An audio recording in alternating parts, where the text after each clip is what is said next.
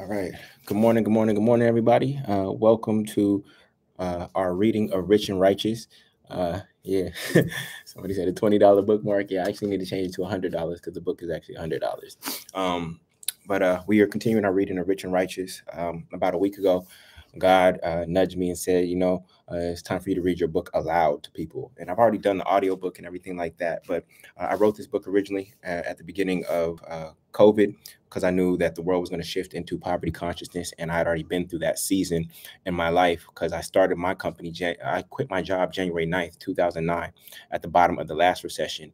And uh, it's been uh, an upward journey since in terms of results, not an uphill battle, but an upward journey in terms of results. And so um, this book was divinely downloaded through me um, in order to help people navigate these shifts in the external economic environment and bringing us back to our true self and our inward environment and making sure that that is sound because uh, what is within manifests without as above so below right so as above in our mind so below in terms of our earthly experience and so um, I wrote this at the beginning of COVID, and um, and uh, we reached a lot of people with the book in terms of those who bought it. Um, but as the world or collective consciousness uh, starts speaking about a recession uh, now, and you see tech stocks dropping and things of that nature, um, the uh, the spirit just moved me and said, just read it out loud every single day. And so right now. We're reading primarily at 8:30 a.m. I'm actually on the West Coast right now,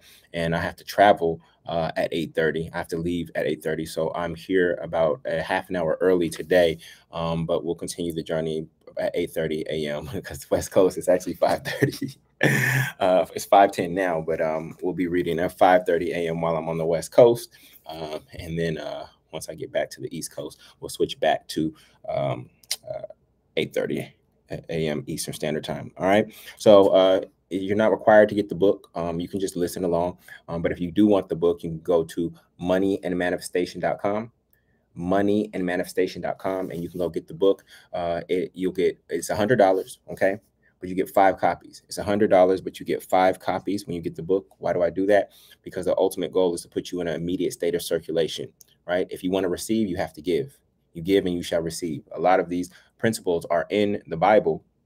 And what I've been able to do is extract the financial principles from the Bible and break them down in a way, uh, in a way to make them useful to you, because abundance is your birthright, and you are a child of God. And so this is uh, basically the financial Bible right here. if you think about rich dad, poor dad, the Bible, as a man thinketh, um, as a man thinketh and um, think and grow rich all of that has been weaved into one single book right here. And uh, in case you wondered it's not some little ebook. This is not some little ebook that got divinely downloaded to me. It was twice as thick as this all right? And so um, we're reading today in the section called um, we're actually on page six and we are reading in the section called what is money right? And why do we have to ask, ask the question what is money? Um, you have to understand the nature of something that you truly want if you truly want something, you have to understand its nature. Okay. And so we need to just pause rather than just being out here chasing money, right? We need to pause and ask ourselves, what is money? What is its nature? And once I understand its nature, guess what? It's going to be easier for me to attract it. So if I'm a hunter, and in fact, that's probably not the best analogy, but I'll run with it because we don't ever chase money. Hunters chase, right? Actually, bad hunters chase. Okay. They're over here running after things. But good hunters, what do they do? They understand the nature of the thing that they're trying to capture and they allow that thing to come to them. Does that make sense? Bad hunters, they chase. Whereas great hunters, they understand the nature of that thing and they know where that thing is going to be and they can intercept it there. Okay. And so this is why we're exploring the nature of money. And I, I know that's probably a weird question. Like, what is money? Like, money's in my life every single day, but I have uh, money's in my life every single day, but I've never paused to ask, what is money and what is its nature? So that's what we're doing. We're seeking to understand its nature. If I'm uh, if I'm hunting lions, right, I'm not going to be chasing after lions. Okay, what I'm going to do is I'm going to understand the nature of a lion, when it sleeps, when it moves, where it hunts.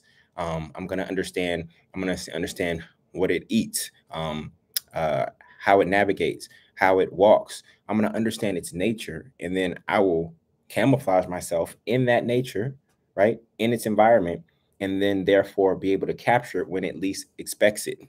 Okay. So we want to become attractive to money. We're not racing after money. That is one of the lies that you were told in the American dream is that you're supposed to chase money. We out here paper chasing. No, we're not. I'm not. And money is flowing to me freely, frequently, and abundantly every single day without the chase. And I know that's very hard for many people to comprehend um, when you are in the rat race, when you are chasing money. But once you get to the other side, and you're going to only get to the other side through your consciousness, you're only going to get to the other side through your consciousness, you'll see that, wow, this is what I was doing all this time. I was chasing money. I was running after it because anything you chase has power over you. Anything you chase has power over you. So we don't chase. Instead, we say, what does money want? We know that you want money, but instead of standing in, oh, I just want more money, right? Because what does scripture say? In the Lord's Prayer, says, what? Thou shalt not what? Thou shalt not want. I know that that puts that scripture in a lot more perspective now. Thou shalt not want. As a child of God, you should never be in a state of wanting. You should never be in a state of wanting, right? In fact, you become attractive and that thing wants you. You become attractive from an energetic frequency standpoint. I don't care how you look in the mirror, right? You become attractive from an energetic and frequency standpoint. And what happens is that thing now naturally wants you. All right. So uh, if you're just joining us, we're reading Rich and Righteous Spiritual Secrets to Mastering Money, Manifestation, and and uh, your mind. And so, um, and so uh, let's let's continue.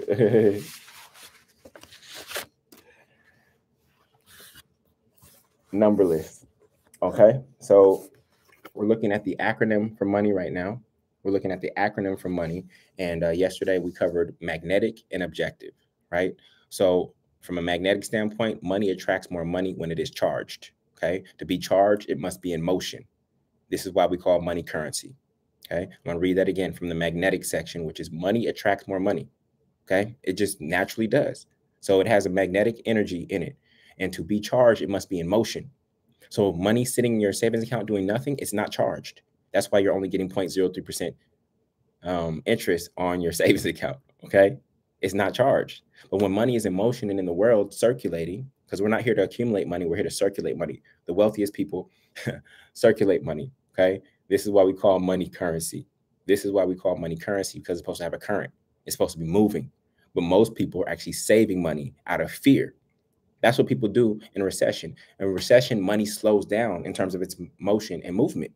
And that is actually what puts us into recession, is because we stop it from flowing. The fear causes us to stop money from flowing because we don't know if, oh, I'm going to have a job uh, in a month. We don't know uh, what prices or inflation are going to look like. We don't know what's going to happen, right? And so we stop uh, we stop allowing money to flow, and then this is how we collectively enter into a state of recession. Now we're in a swamp. The water's not flowing anymore. Okay, and so uh, if we just collectively keep the money flowing, then guess what? There will be no recession. If we keep the money flowing, not to not to expenses and liabilities, right? But if we keep money circulating towards ideals, ideas, individuals, institutions, and investments that we believe in, guess what? There will be no recession. There will be no recession. Okay. And so um, the next thing is that money is objective. So M, we're doing the acronym for money. M was magnetic. O is objective. Okay. Money is neither good nor bad. Just like a knife is neither good nor bad. Okay. A knife can be used for good. It can be used for bad. A knife can be used to cut bread. It can use to be stabbed to use to stab somebody. But a knife is neither good nor bad.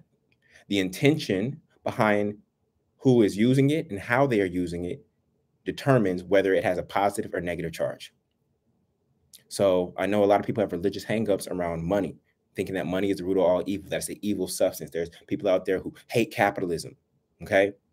But if capitalism is simply value exchange, if we just take it back to its basic form, is there corrupt capitalism? Yes, that puts uh, profit over people, that puts this piece of paper over people. Yes, there's corrupt capitalism.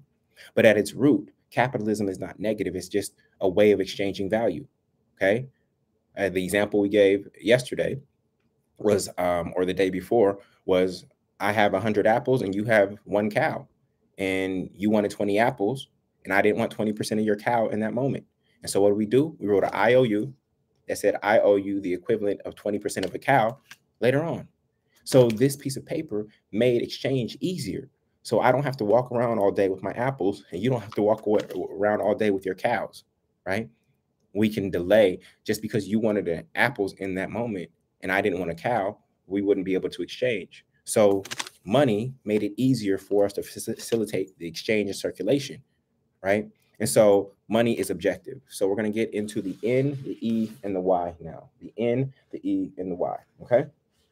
We're on page seven. For those of you who have the book, if you would like to get the book, you can go to moneyandmanifestation.com. Moneyandmanifestation.com. We normally are going to be reading at 8:30 a.m. Eastern Standard Time, um, but I have to travel today, um, so I am here about half an hour early um, today. Okay. So in numberless, money is abundant. It cannot be it can't be counted. The amount of money available depends on our individual collective faith. Did you hear that? The amount of money available depends on our individual and collective faith. We don't believe in each other. Okay. The only thing that gives this thing value is our belief in it. So if we don't believe, and it actually represents our belief in each other, I believe that I can walk into your store and use this to buy something that you have that I want. I believe that and I trust that. And we've all agreed on that. So the amount of money available depends on our individual collective faith. That's why they put in God we trust on the dollar bill. The dollar would be more accurate if it said in each other we trust. Okay, they put in God we trust on the dollar bill, but what would have been more accurate because this, besides the fact that this is stored energy, and we know that energy is God, we know that God is that spiritual substance, right? What would have been more accurate rather than making it a godly thing is in in each other we trust. That's what this symbolizes. In each other, we trust. We trust that wherever we can go in this country, we can use this for exchange. We trust each other. And when we start losing trust in each other, right? And guess what? The supply of this diminishes because people are now hoarding it and less is in circulation. So the dollar bill would be more accurate if it said in each other we trust, or in God, or in the God in you I trust. I actually like that one better.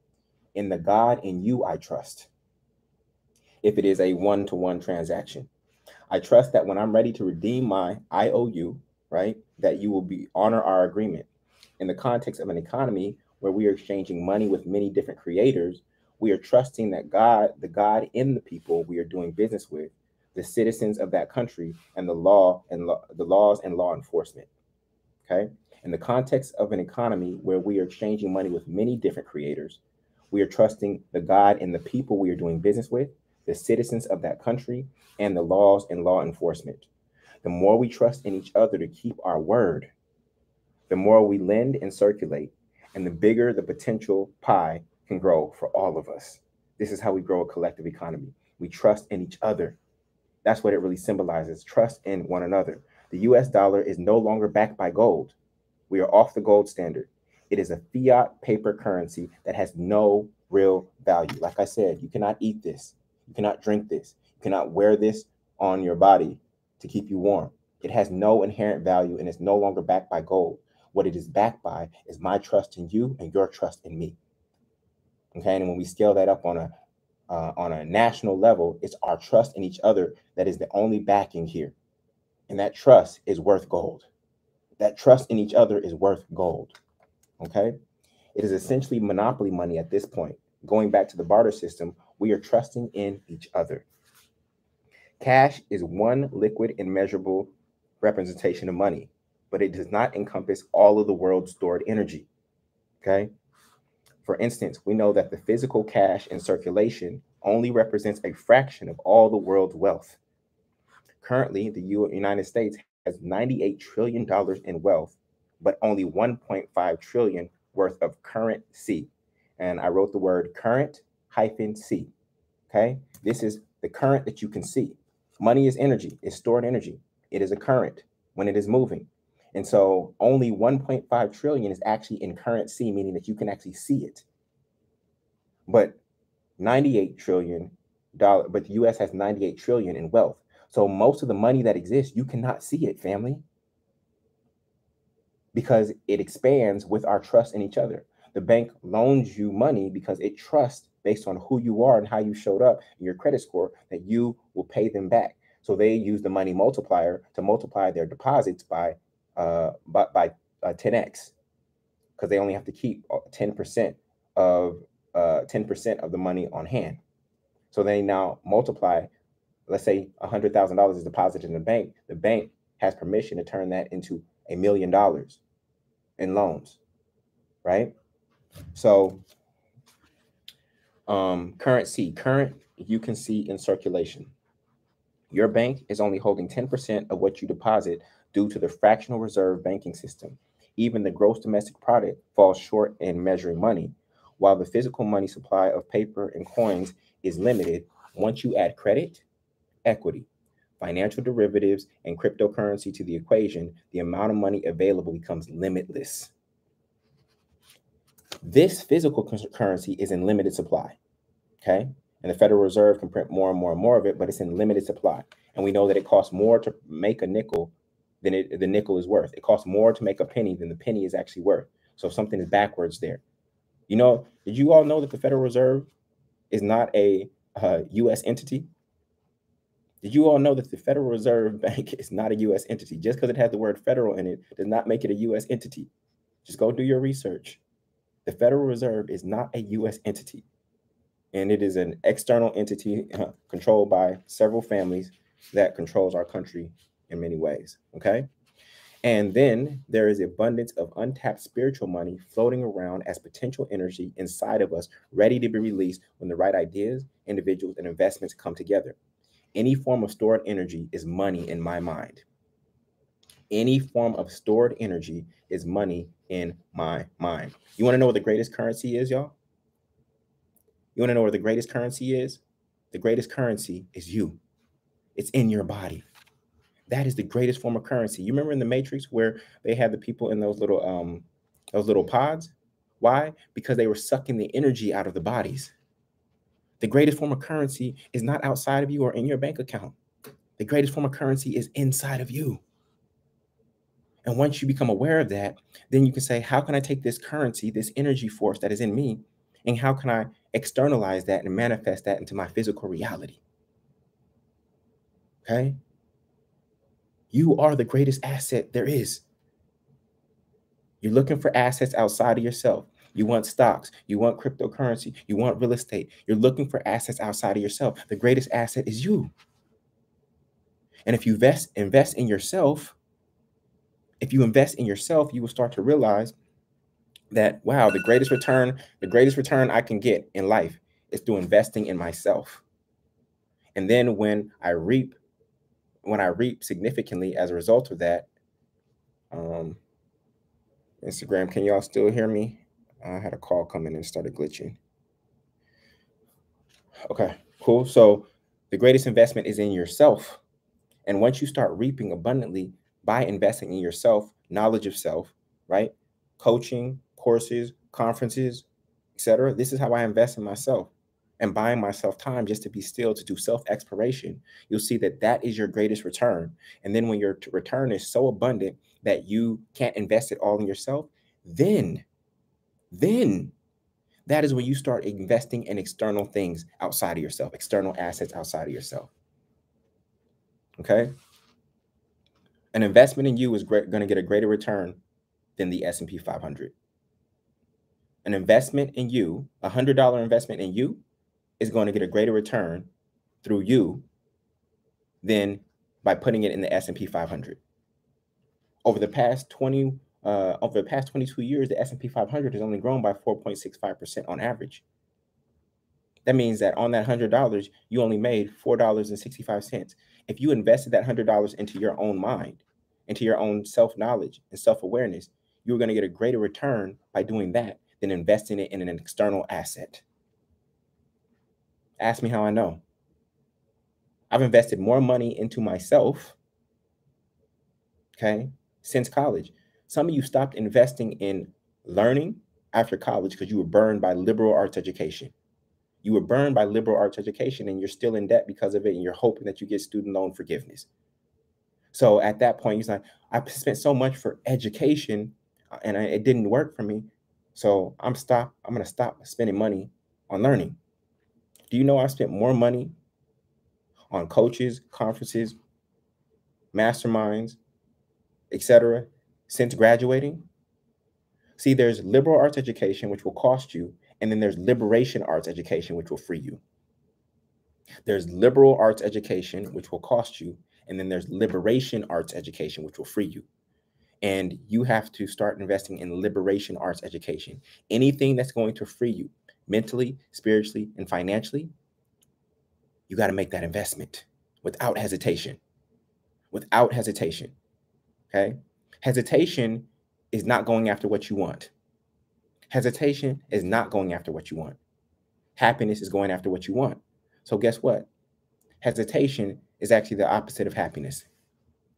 So when you hesitate, you're doing the opposite of happiness. You're not going after what you want. Okay? So any form of stored energy is money in my mind. In aggregate, we're either creating money or contracting it through our level of belief in God, ourselves, and each other, and our level of cash consciousness, which we will discuss in commandment number seven. Beyond the Federal Reserve telling uh, the US Treasury to print more money, my belief in God, my God, myself, and what is possible determined whether I started my company on January 9th, 2009, at the bottom of the last recession. My belief in my ability to grow my company is what frees me to invest in rental properties and commit to 30 year mortgages. At the level of wealth I am now, I even occasionally spend money with no expectation of a return just to circulate it. Just to circulate it. Because I know that it has no use when it is just sitting still. Belief has no limits. Therefore, money has no limits. It is only limited by how much we believe in ourselves, each other, and God in aggregate. Even though there are numbers on bills and we do our best to measure GDP and keep score with our bank accounts, money can't be quantified. The dollar value goes up and down daily, but the quantity of money corresponds to what we believe is possible in the quantum field where all things are possible. What does scripture say? All things are possible. Okay? All things are possible. And our scripture at the beginning of this section was money is the answer to everything from Ecclesiastes 10 19. So that is um that is the N. Now we're going to get into the E. We're going to get into the E. Energy. Money is energy. We're understanding money's nature. What is money? Is the title of this section. Money is a store of value or the energy used to create that value. As mentioned earlier, the IOU uh, stored all of the six forms of capital. And we're going to get into that in money commandment number eight. I used to produce, I I used to produce the 20 ripe apples for you to enjoy. Okay. Our older, uh, our older reference was um, I had 100 apples and you had one cow. You wanted 20 apples and I did not want 20% of your cow. And so we created this piece of paper called money saying you owe me the equivalent of 20 uh, 20% of a cow when I'm ready to redeem it. Okay. So that is what we're referencing here for those of you who are just joining us for the first time. So, as mentioned earlier, the IOU stored all of the six forms of capital I used to produce the 20 ripe apples for you to enjoy now.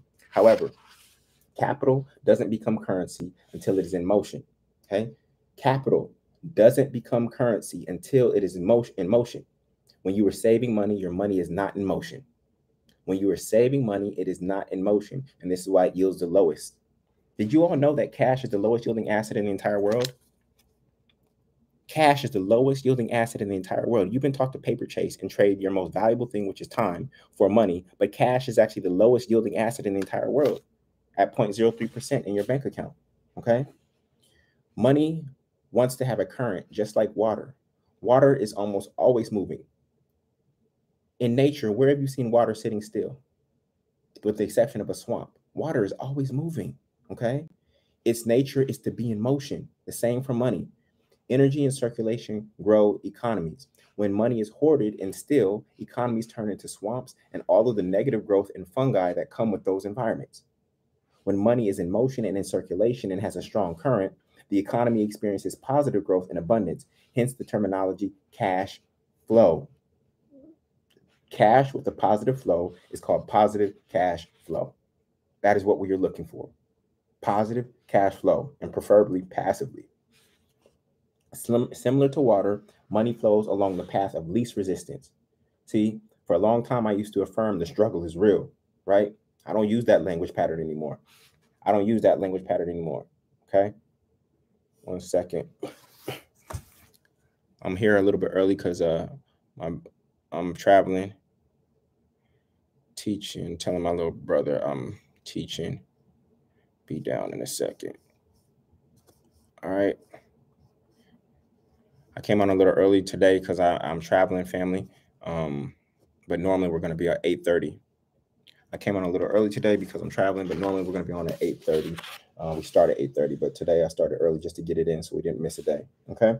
So let me finish this because he's downstairs.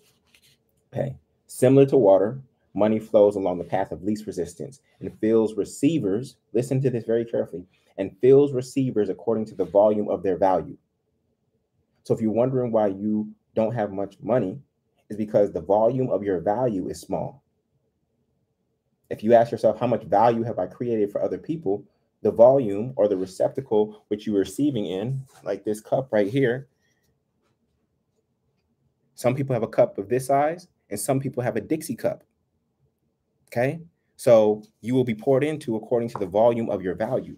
In the same way that a river simply goes around a rock, money will go around you. In the same way that, uh, in the same way that a river simply goes around a rock, money will go around you. Many people have a love hate relationship with money because they identify themselves as givers and not receivers. This for all my givers out there. And I know a lot of you are. And I, I know that uh, we need to develop this muscle.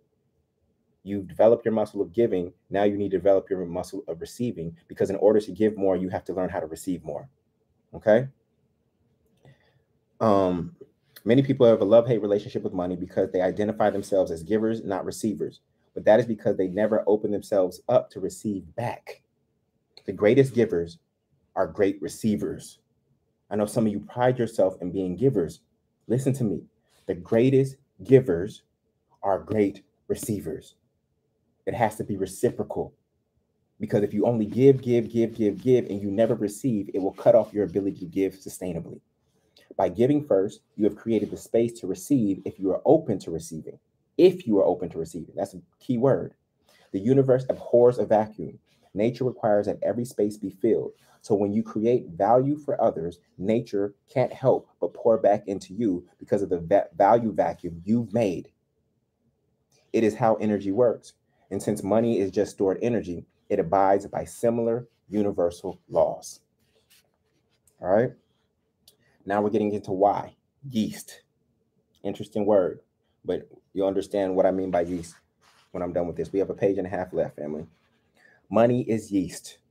Yeast increases the yield of what is what it is added to, most notably bread, which happens to be another name for money. Listen, you heard, y'all heard that? Money is yeast. Yeast increases the yield of what it is added to, mo- uh, most notably bread, which happens to be another name for money. Yeast is an ingredient that causes the dough to expand and feed more people when added to the dough. In the same way, when money is added to an asset with potential, like a business, real estate, or a talented individual or group, it can cause the investment to expand and become more valuable while also producing more money. So, money is yeast. It is an ingredient we can add to things that we believe have expansive abilities. Okay. In the same way that seed yields crops, money likes to yield creations. When you know that money is energy and wants to be used like yeast to increase the yield of something, you seek to circulate your money to the places with the highest potential material and spiritual harvest. Okay, this is where we circulate our money towards. Not, I'm not just saying go out there and circulate money um, uh, without thought. You circulate your money to the places with the highest potential material and spiritual harvest. All right. In the past 20 years, right, January 1st to 2000 to December 31st, 2020, the S&P 500 stock market index yielded an average rate of return of 4.77%. So for those of you who have your money in the stock market, you only got a 4.77% yield over the past 20 years. That's not that great, okay? Single family real estate appreciates at about 3% per year. Actually, it's 2.6. multifamily real estate investments should produce at least a 12% annual, uh, at least 12% annually, and savings accounts are only yielding at 0.03% interest. Cash is the lowest yielding asset in the world. Yet that's what you've been taught to chase. You've been taught to chase the lowest yielding asset in the world. Okay. You have two jobs. Your first job is to work for money. Your second job, which most people fail at, is to make money work for you. Okay. So you're doing great at the working hard for money part, but many of you are failing right now, right? Or let me, I don't want to say failing, have opportunity for growth in terms of making your money work for you. The name of it, the name of the game is to increase its yield, its growth, and its good. The name of the game is to increase its yield, its growth, and its good. Last two paragraphs. The goal is to have higher yields. Yield is known as cash on cash return or your return on investment, which is ROI. The equation for cash on cash return equals the annual profits of an investment divided by the initial investment. A simple example is a kid using $40 to buy Dixie cups, ice water, ice, water, lemons, sugar, a marker, and poster board to create a lemonade stand, and then selling 100 cups at uh, at one dollar each. The profit was sixty dollars, which you get by subtracting the forty dollars in expenses from the hundred dollars in revenues. $60 profit divided by the initial $40 investment equals 1.5 or 150% cash on cash return. This is some math for millionaires. I know you learned a lot of math in high school, junior high school, high school, and in college, but the only math that matters to your wealth is what I call math for millionaires. And we're going to go through some of those equations throughout the book. You don't have to know any complex things. There's no derivatives here, very little algebra here. This is really junior high school math for millionaires is really junior high school math. Okay. And so th- that knowing cash on cash return, knowing how to calculate the yield, the return on investment is equation that you need to know. Okay. So um, we'll explore that further in commandment number seven. Last paragraph. It takes money to make money. Money loves to be used to create things that create value for others. When you do so, you will be rewarded with multiples of what you started with. In a sense, you want to give so much value to the world and create such a great value vacuum that the universe can't help but pour back into you so that, listen, not pour back into you just so you can kick your feet up and do nothing. Pour back into you so that you can keep giving your gift. When I receive, right, I pour back into myself and into my business, which allows me to expand and give my gift at a greater scale. That is the goal. It is not just for me to look at a bank balance and say, oh, I have a lot of money. Okay. And we'll explain why that is later. You cannot outgive God. So your volume vacuum will be filled when you are aligned with the universal laws and God's will. Your yield is simply the byproduct of helping others get what they want. Your yield is simply the byproduct of helping others get what they want. The more you give, the more you shall receive. Your blessing model allows you to give, and your business model is what allows you to receive more and more over time continuously. Together, they clarify what you have, what you give, to whom, and how much you receive so that you can continue to offer more. We will go into uh, the blessing model and business model in more detail in commandment number seven. And now that you understand what money is and how it works, it will be easier to attract it. Okay. So that concludes our section on um, what does money want? Uh, what is money? Um, tomorrow, 8:30 a.m. Eastern Standard Time, we're going to continue with what what does money want?